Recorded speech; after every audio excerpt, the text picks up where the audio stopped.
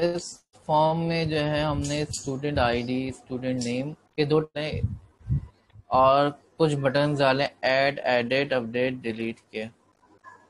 Edit या update का एक बटन डाला है। ऐड का बटन डाला है डिलीट का बटन डाला है। ठीक है? और एक डेटा ग्रिड व्यू उठा के हमने यहाँ से लेफ़्ट से डाला है। ग्रिड व्यू की डेटा सोर्स हमने क्या सेट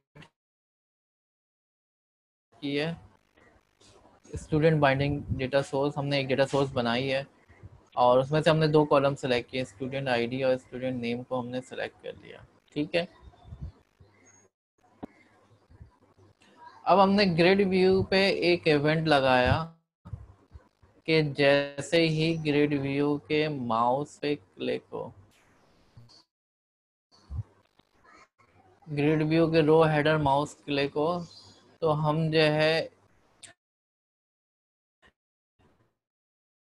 ग्रिड व्यू में जो भी रॉ सिलेक्टेड रॉ में से सेल नंबर ज़ीरो उठाया, उसकी वैल्यू उठाई और टू स्ट्रिंग कर दिया। इसी तरीके से सिलेक्टेड रॉ में से सेल नंबर वन भी उठा लिया। यानी कि जो ग्रिड व्यू है, इसके, इस वाले सेल की वैल्यू उठा ली और इस वाले सेल की वैल्यू उठा ली। स्टूडेंट आईडी और स्टूडेंट नेम मिल गया हमें।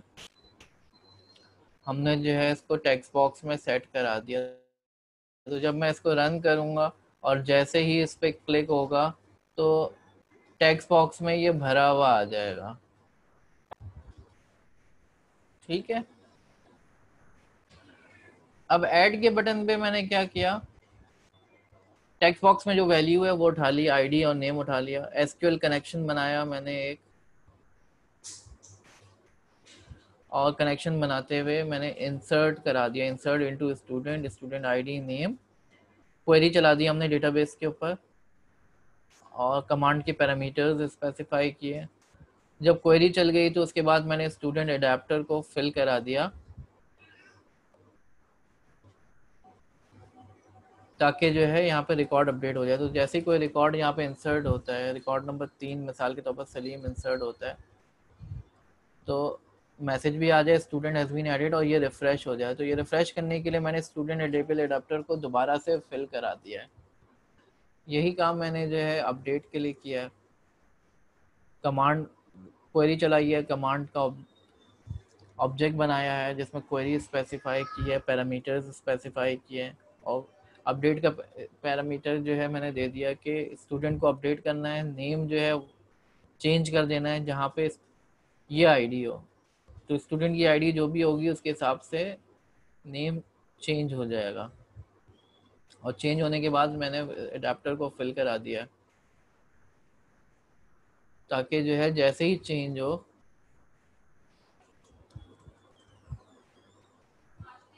तो मैसेज भी आ जाए रिकॉर्ड अपडेट हो गया और यहाँ पे भी चेंज हो जाए। यही काम मैंने डिलीट पे कराया है। डिलीट पे मैंने क्या क्वेरी लगाई है? Delete from student where student ID is equal to ID अभी आईडी कहाँ से आएगी? ये आईडी जो है अलग से एक पैरामीटर होगा जो मैं यहाँ पे स्पेसिफाई कर रहा हूँ। एड विद वैल्यू करके। आईडी के अगेंस्ट मैंने जो टेक्स्ट बॉक्स में आईडी पड़ी हुई है, जो इस टेक्स्ट बॉक्स में आईडी पड़ी हुई है, ये आईडी जो है, इस आईडी पे जो भी रिकॉर्ड पड़ा होगा डेटाबेस के अंदर वो डिलीट करवा दिया मैंने। और आखिर में मैसेज दिखा दिया और रिफ़्रेश करा दिया जो मेरा ग्रेड व्यू है। उसको मैंने रिफ़्रेश करा दिया। तो इस तरीके से जो है हमने डेटा ग्रिड व्यू की डेमोन्स्ट्रेशन देखी ऐड अपडेट डिलीट हमने किस तरीके से अप्लाई किया ग्रिड व्यू के अंदर हमने वो देखा। हमने जो है कुछ फील्ड्स ले ली। जैसे ही जो है ग्रिड व्यू पे क्लिक होता है, यहाँ पे हमने एक इवेंट कैप्चर किया हुआ है। जैसे ही ग्रिड व्यू पे क्लिक होता है यहाँ का रिकॉर्ड उठ के यहाँ पे शो हो जाएगा। जैसे कि आप देख सकते हैं, जैसे ही ग्रिड व्यू पे क्लिक हो रहा है, यहाँ का रिकॉर्ड यहाँ शो हो जा रहा है। फिर यहाँ से अगर आप चाहो तो इसको अपडेट कर सकते हो। अपडेट करना बहुत आसान है। अपडेट होते के साथ ही ये नीचे रिफ़्रेश भी हो रहा है। अपडेट करना बहुत आसान है। अपडेट करने का कोड मैंने आपको दिखाया। क्वेरी है अपडेट की डेटाबेस पे चलेगी। अपडेट कर दो उस स्टूडेंट को जिसकी आईडी जो है, आपकी आईडी तो प्राइमरी की है आईडी चेंज नहीं हो सकती। उस आईडी के अगेंस्ट जो भी नेम होगा, उस नेम को चेंज कर दो। आईडी के अगेंस्ट नेम चेंज कर दो। तो स्टूडेंट नेम जो है एट द रेट नेम कर दो, जहाँ पे ID at the rate ID है अभी एट द रेट नेम क्या होगा, ये अलग से पैरामीटर्स के तौर पर स्पेसिफाई किया एट द रेट आईडी क्या होगा, ये अलग से पैरामीटर्स के तौर पर स्पेसिफाई किया है। और एग्जीक्यूट नॉन क्वेरी हम करते हैं जब हम डेटाबेस में अपडेट कर रहे होते हैं। अपडेट करने के बाद हमने जो है टेबल एडाप्टर को फिल करा दिया ताकि रिकॉर्ड रिफ्रेश हो जाए। यही काम हमने ऐड में किया है। Insert into student student ID student name ये क्वेरी है वैल्यूज़ क्या होंगी एट द रेट आई और at the rate name at the rate I जो है मैंने अलग से स्पेसिफाई की है एट द रेट नेम अलग से स्पेसिफाई किया है। नॉन क्वेरी एग्जीक्यूट किया मैंने। ठीक है जनाब। और स्टूडेंट टेबल अडाप्टर को मैंने फिल करा दिया ताकि रिकॉर्ड रिफ्रेश हो जाए। तो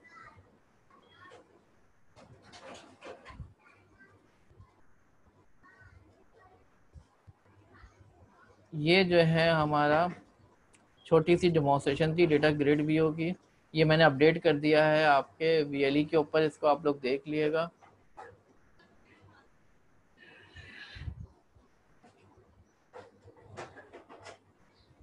थ्योरी का अलग है और लैब का अलग है। ठीक है जनाब। आज आखिरी क्लास है। क्वेश्चंस ले लेते हैं।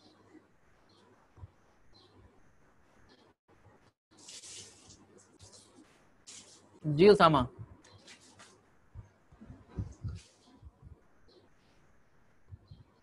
Hello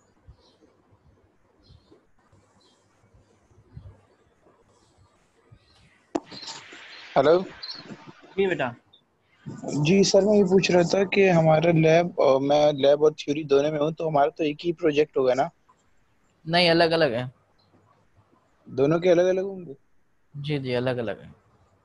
okay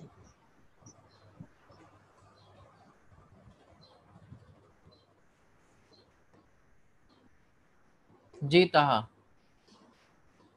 Talha.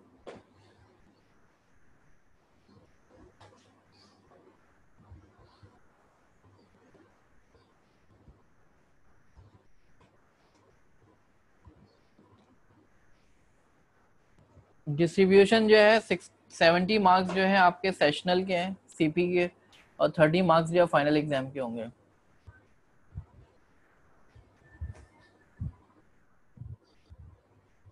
ठीक है जी, यहाँ पे क्लास एंड करते हैं। हिबा कोई क्वेश्चन है आपका?